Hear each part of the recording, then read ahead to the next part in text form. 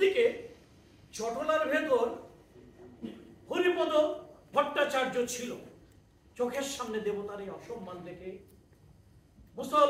মুসলমান অফিসার আসানুল্লাহ নির্মম নির্যাতন দেখে প্রতিশোধের সংকল্প নিয়ে সেখান থেকে সরে পড়ে হরিপদ। উনিশশো একত্রিশ সালের তিরিশ আগস্ট পাহাড়তলির নেজামত পল্টন মাঠে চলছিল জমজমাট ফুটবল খেলা। আসানুল্লাহ সেখানে খেলা দেখতে এসেছিল। সেখানেই হরিপদ তাকে গুলি করে হত্যা করে।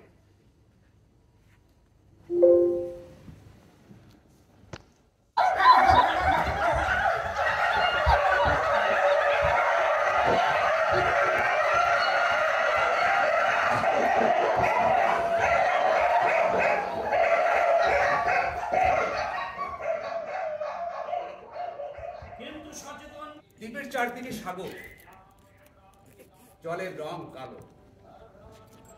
তাই কে কেউ ওকে বলে কালা পানি জীবনের বাকিটা সময় ওখানেই কাটাতে হবে। নির্জন দ্বীপ, সেলুলার জেলখানা ওরা আটকে রাখবে আমাকে। আটকে রাখবে আমাদের। কিন্তু তাতে কি থেমে যাবে সব? থেমে যাবে মুক্তির সংগ্রাম?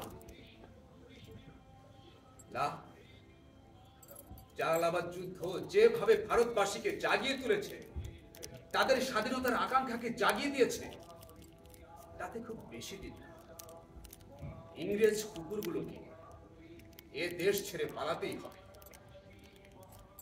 বিদায়, বন্ধুগণ। দেখা হবে মুক্ত, স্বাধীন দেশে।